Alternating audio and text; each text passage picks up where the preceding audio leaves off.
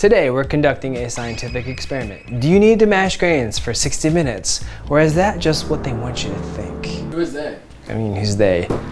The government? Big corporations? Oh no. All right, let's do this. Yeah, how long do you really need to mash? If you don't need to mash for an hour and it only takes 10 minutes, we'll find out you can save almost an hour on your brew day. To do this, I'm gonna take a specific gravity measurement every 10 minutes for 60 minutes using a mash temp hydrometer. So that means as soon as I get this grain in, I'm gonna set a timer. That means I need my phone.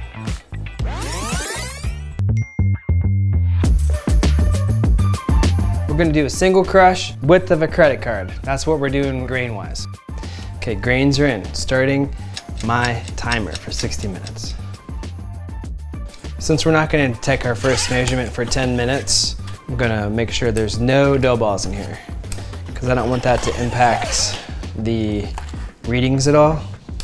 Don't need this anymore.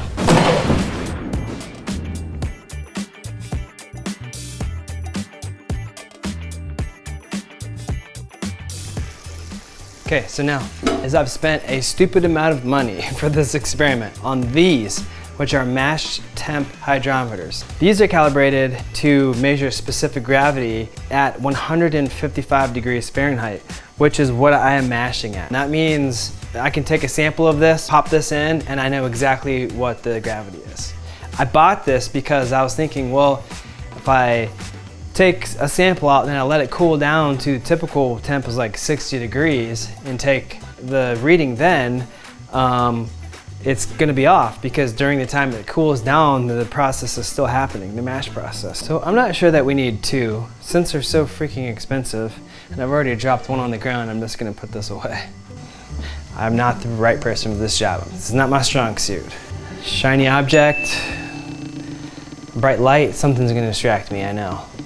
All right, so let me explain a couple other things. 11 pounds of Maris Otter, 7.3 gallons of water. That should yield about 5.5% ABV. We would expect at 70% efficiency, 1048 or 1.048 specific gravity at the end of the mash. So that's ultimately what we're shooting for. 10 minutes, first sample. Yeah, good thing I got that glove. So I'm gonna say it's 1036. 1036. So we don't, um, you know, change the volume at all, dumping it back in.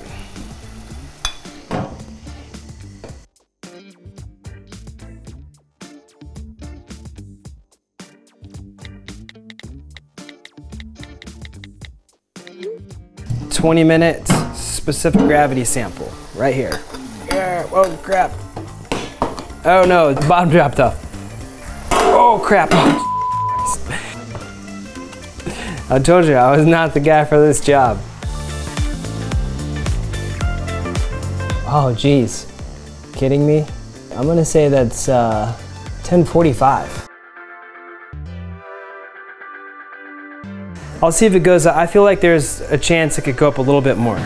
Dude, this is all in, in the name of science, Nathaniel. I'm doing this so you don't have to. So if our target's 1048 and we're at 1045 already, It means the mash literally happened um, almost completely in like 20 minutes.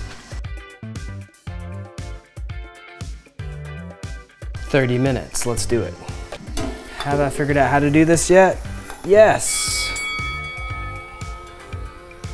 Oh yeah, now we're getting her done. Four, six, yeah, so we're 1046. Easy 1046. We're looking for 1048. Pretty much it happened in 20 minutes. And in 10 more minutes, nothing happened. So I would say 20 minutes might be pushing it. 30 minutes might be the sure bet. 60 minutes could just be like way overkill. Here's where you might go wrong doing a 30 minute mash. Different grains have different levels of what's called diastatic power. So diastatic power is the ability of a grain to turn starch into sugar. So that's why you're always, you know, you have a base malt and then you're mixing in other malts on top. The, the base malt is actually what's gonna turn the starch in the specialty malts into sugar. So it might take longer for other grain bills. 40 minute specific gravity reading, sample, being it right now. See man, I figured it out.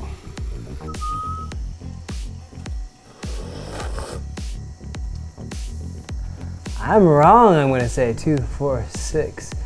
This is a little bit higher. I'm gonna say that's 1049, dude. I'm gonna say that's 1049. We went over by uh, 0.001, 1049. What do you know? I was gonna cut it off here, but let's go. Let's keep it, let's keep it rolling. This is why you science. People used to think that when they heard big rumbling noises from the sky, it was just God bowling. And they did some science experiments and determined that was not the case. And that's why we're doing this right here. Debunking the big myths. Not to be lazy doing our brew days. Probably more that, yeah. Are you shocked by your findings so far? Um, kind of expected that maybe 20 minutes and it would be like done. I didn't expect to see a big jump from 30 to 40. It could have been measurement error on like between yeah, at the 30 minute, but still, it's definitely still moving. Like 40 was definitely higher than the 30. If it's the same on this one, um, I think then we'll just cut it and do a mash out and move on. But if it goes up again, we'll just keep it rolling, man. See how far we can take this crazy experiment. All right, 50 minutes.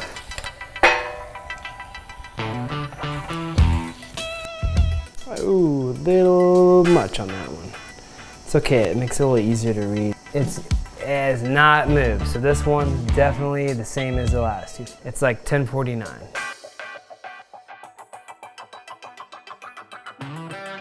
Now that it's clear that this is completely finished at 50 minutes, in fact it was finished at 40 minutes, I'm going to bump it up to 170, we'll do a mash out. That might extract a little bit more of the sugars, and we'll see if it changes. So at 170 degrees, the, the grain's just essentially, it's gonna get a little bit more mushy.